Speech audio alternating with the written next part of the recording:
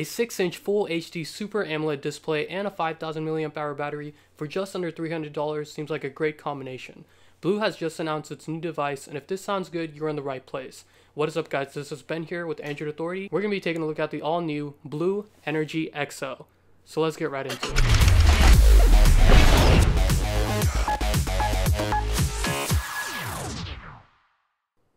Right off the bat, the design on this phone is definitely the most eye-catching. The BLU Energy XL has a premium metal design with the edges rounded off. It comes in two colors, a silver or a gold, and this is the gold version.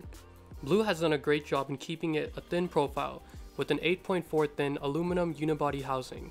The phone feels very good in the hands, and you'll notice that the metal they have used is of high quality because it does not feel cheap at all. Since it is thin and it is slightly rounded to the back, that will help with your grip, which is actually really good because you don't want it to fall out of your hands. Moving on to the display, you'll notice that it is huge and great quality. BLU has pushed this phone to have a 6-inch Full HD Super AMOLED display.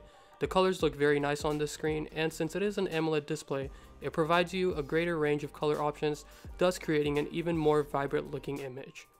It also allows a fantastic viewing experience since along with the AMOLED display, you're able to watch this at a resolution of 1080p, with a pixel density of 368. Moving on to the performance, the phone is powered by a powerful octa-core 1.3 GHz processor with 3 gigs of RAM. The phone runs very smooth even with the custom animations for the home screen.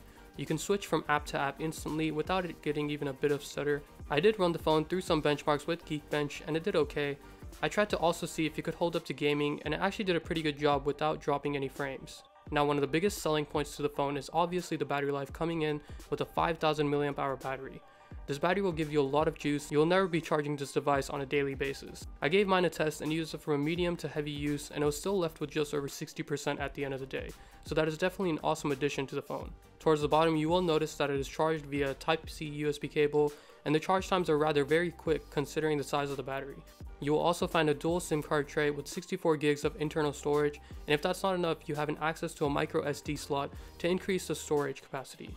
In terms of the sound, it does not have a heavy bass to it, but overall does a great job in producing a good amount of bass without distorting the sound, and ends up giving a very high quality sound. Similar to the BLU Vivo 5, BLU has stayed with Android Lollipop version 5.1. The app drawer is still not there, so you have to have all your apps on the screen. You can however create folders which does make it slightly more organized, or you can solve this simply by just downloading a Nova launcher and having your app drawer back in action. When you slide from the top, you'll get your notification screen, which looks great and has an option button so you can customize what notifications you want to see. Pulling up from the bottom will bring additional quick functions, which also house your flash, calculator, camera, and the infamous button to fake a call, which is my personal favorite. On the phone itself, BLU has applied two touch sensitive buttons, one taking you back and the other opening your most recent apps, which is nice. You can also customize your home screen with different themes and create some custom animations as well. As for the themes, there are a couple of themes, but the one that's already been defaulted actually does look really good with the phone, so I went ahead and kept that one. So overall, there are some things on the BLU Energy XL that are not native to everyone, but it is easy to get used to, and once that is done, the software is a great companion to the phone. The camera is not something to be wowed over, but it will definitely get the work done and actually does a great job. BLU has given the phone a 13 megapixel main camera with a phase detection autofocus and a 5 megapixel selfie camera. The pictures come out great, with them not being too exposed or overly saturated. The camera does a great job outdoors, but has a little bit of trouble without lighting, but that is okay since we're not dealing with the DSLR camera or something. But overall the camera is good at the price point that it is given at.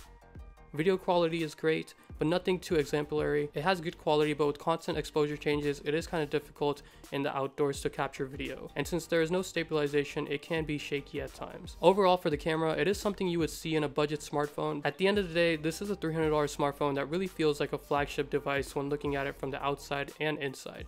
The exterior design and build quality is amazing and can definitely not be complained about. The Super AMOLED display giving out a resolution of 1080 by 1920 is superb and gives out fantastic vibrant images and more along with an insane mega battery giving it 5000 milliamp hours which can last up to 3 days. The software on the device can be a hit or miss, but can be solved if tinkered just a little bit when paired alongside with the Nova launch. So is this phone worth picking up? I would say yes. BLU has done a lot better with this device and being just under $300 is great considering it comes with an amazing build quality as well. So you definitely can't go wrong with the BLU Energy XL.